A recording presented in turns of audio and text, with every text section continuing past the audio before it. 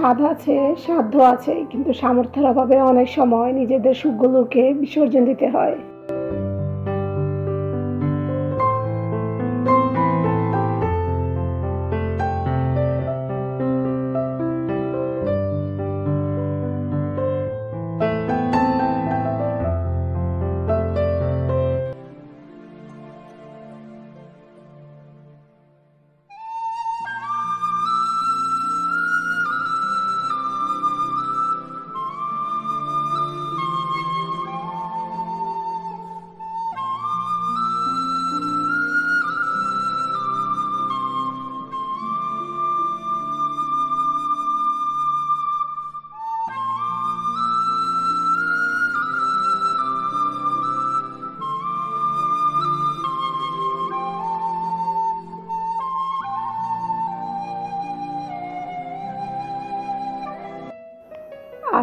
আলাইকুম।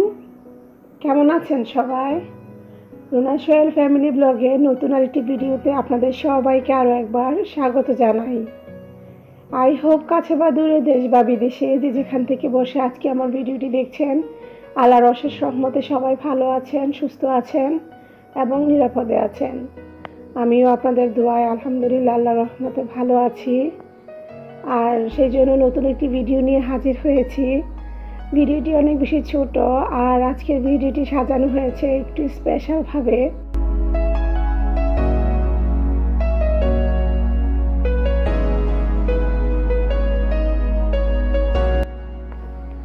আমি জানি না কতটুকু স্পেশাল করে সাজাতে পেরেছি, তবে আপনাদের ভালো লাগাই হচ্ছে আমার সার্থকতা।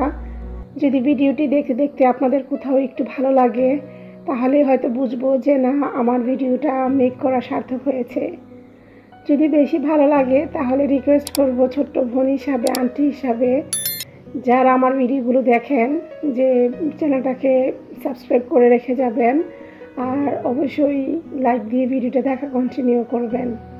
আর যদি ভালো না লাগে, তাহলে আরেকটা রিকোয়েস্ট করব, যে ভিডিওগুলো দেখতে থাকেন, দেখতে দেখতে হয়তো কোনো এক সময় আপনাদের কাছে ভালো লাগলেও লাগতে পারে।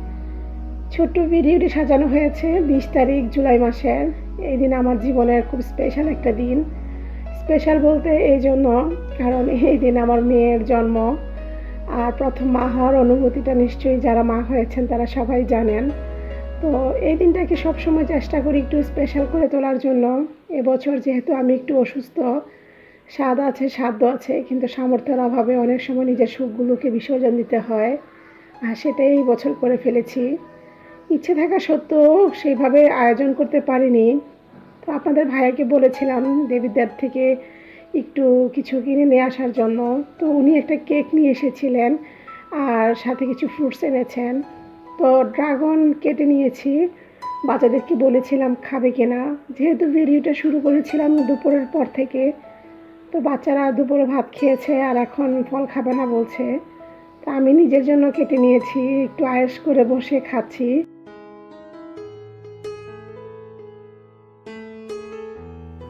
এই ভিডিওটা যখন মেক করেছি, তখন কিন্তু প্রচণ্ড পরিমাণে গরম ছিল। গরমের কারণে অস্থিরতা কাজ করছে। কোনো কাজই যেন শান্তিমতো করতে পারছিলাম না। এক তো সহ্য গরম, তার উপরে গ্রামের মধ্যে কারেন্ট থাকে না। দুটো মিলেই কিন্তু বেশ অস্থিরতার মধ্যেই কেটেছে। তারপরও চেষ্টা করেছি মেয়ের মুখে একটু হাসি ফোটানোর জন্য। যেহেতু মেয়েরা জন্মদিন, সবসময় এই দিনটা আমার জন্য অনেক বেশি স্পেশাল হয়। আমি একটু ঘরোয়াভাবে হলো আয়োজন করার চেষ্টা করি। এবছর যেহেতু বাহিরে যেতে পারছি না, তো দেখা গিয়েছে যে ও লাবিবার বাবার উপরই আমাকে ডিপেন্ড হতে হয়েছে। তো ওনাকে বলেছিলাম ছোট্ট একটা কেক নিয়ে আসতে, উনি নিয়ে এসেছেন।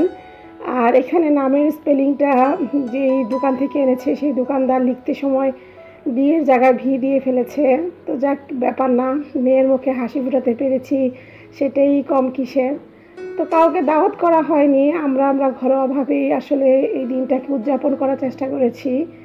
মেয়েরা লুচি খেতে ভীষণ পছন্দ করে, তো সেই জন্য এখানে সকালবেলায় বট রান্না করেছিলাম। তো বট দিয়ে লুচি দিয়ে সন্ধ্যায় খাচ্ছে।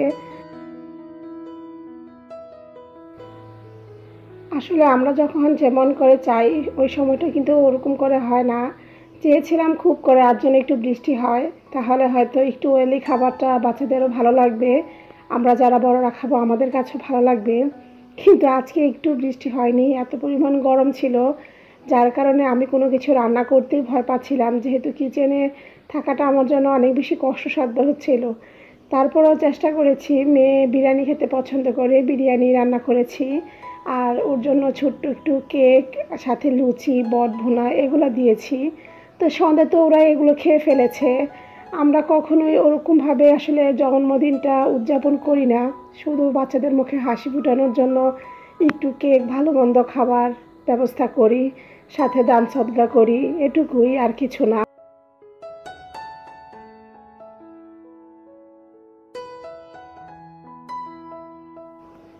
এত পরিমাণ গরম ছিল, যার কারণে আসলে মোবাইল নিয়ে বারবার ভিডিও করাটা, কাজ করাটা আমার জন্য অনেক বেশি কষ্টসাধ্য। তো সেজন্য আমি সব কিছু আর ভিডিও করিনি, শুধু এই সুখের দিনের মুহূর্তগুলো আপনাদের মাঝে একটু শেয়ার করার জন্য ভিডিও করেছি। তো আমার কিন্তু অলরেডি বিরিয়ানি রান্না হয়ে গেছে, সাথে একটু চিকেন ভুনা করেছিলাম, সালাদ আর দই। এই পৃথিবীর সকল বাবা মাই কিন্তু চায় তার সন্তানের মুখে হাসি ফুটুক, এটা আমার বেলা যেমন চিরন্তন সত্য, এটা যারা মা বাবা হয়েছেন তাদের বেলাও সত্য। তো ঘরোয়াভাবে ঘরোয়া আয়োজনে মেয়ের মুখে একটু হাসি ফোটাতে পেরেছি দেখে আমি মা হিসেবে কিন্তু অনেক বেশি ভালো লাগা কাজ করছিল। সারাদিন অনেক বেশি ভয়ে ভয়ে ছিলাম, এক তো এত পরিমাণ গরম, তার মধ্যে কারেন্ট থাকে না, আমি জানি সব কিছু করতে পারব কি না রাতের ডিনারের আয়োজনটা সুন্দরভাবে করতে পারব কি না তো যাক, আলহামদুলিল্লাহ, আল্লাহর অশেষ রহমতে আল্লাহ আমাকে শক্তি দিয়েছেন, সামর্থ্য দিয়েছেন, আমি আয়োজন করেছি। আর এখন প্লেটেও নিয়ে নিয়েছি। সবাই মিলে বসে পরিবারের মানুষগুলো একসাথে খাব। এটার মধ্যে কিন্তু অন্যরকম একটা শান্তি আছে, তৃপ্তি আছে। তো ভিডিওটা কিন্তু কথা বলতে বলতে লাস্ট পর্যায়ে চলে এসেছি। আপনারা সবাই আমার মেয়েটার জন্য দোয়া করবেন যেন একজন নেককার মানুষ হতে পারে, ভালো মানুষ হতে পারে এবং সমাজের পরিবারের সবার সেবা করতে পারে। তো খেতে খেতে আপনাদের মাছ থেকে আজকে বিদায় নিয়ে নিব। আপনারা সবাই ভালো থাকবেন, সুস্থ থাকবেন। আল্লাহ হাফেজ। আসসালামু আলাইকুম।